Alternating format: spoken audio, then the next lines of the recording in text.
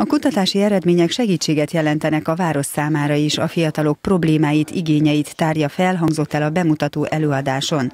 A Debreceni Egyetem egészségügyi karának gondozásában több szociológiai felmérés összegzése ad számot arról, milyennek tartják a helyiek az életkörülményeket, a munkaügyi, oktatási vagy egészségügyi helyzetet a megyeszékhelyen. Ebben a felmérésben a 15-18 éveseket és a 19-29 éves korosztályt kérdezték meg. Elsősorban két ifjúsági korosztály, a középiskolás korosztály és a 19-29 éves korosztály életformája, életkörülményei, lehetőségei, munkaerőpiaci karrierpályája, tervei, családtervezési szándékai, netán migrációs hajlandósága, külföldre távozás, tanulás vagy munkavállalás céljából nagyon színes a, a kínálat, illetve a kutatási téma. A jelenleg független fiatalok meghatározó többsége házasként képzeli el a jövőjét, itthon akar dolgozni és tanulni is szeretnének. A megkérdezett fiatalok zöme a szüleinél lakik saját lakásban vagy albérletben, inkább a 19-29 évesek laknak. A felmérésben résztvevő fiatalok 15%-a olyan háztartásban él,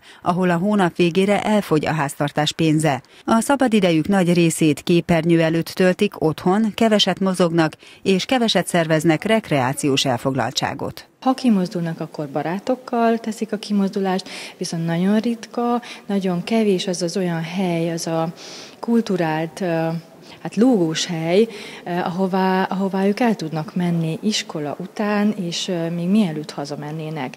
Úgyhogy ez az egyik nagy üzenete egyébként ennek a kutatásnak a, a város felé, hogy nagyon sok olyan szabadidős teret, közösségi teret, ifjúsági eh, házat kell kialakítani, létrehozni magát az ifjúságot, az érintett korosztályt is bevonva, ahol ezek a fiatalok el tudják tölteni akármilyen digitális vagy nem digitális környezetben is a szabadidejüket. A vizsgált dimenziók mindkét korosztály tekintetében hasonlóak voltak, és követték egy régebbi 2012-es tanulmány tematikáját. Így a kutatási eredmények összehasonlíthatók a korábbi országos és régiós adatokkal is.